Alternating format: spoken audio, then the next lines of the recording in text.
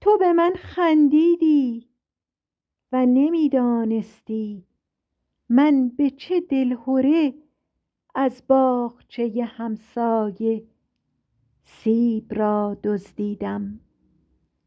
باغبان از پی من تند دوید سیب را دست تو دید.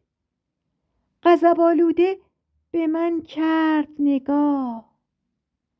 سیب دندان زده از دست تو افتاد به خاک. و تو رفتی و هنوز سالها هست که در گوش من آرام آرام.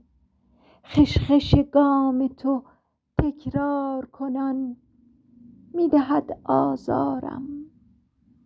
و من اندیشه کنان غرق این پندارم که چرا خانه کوچک ما سیب نداد.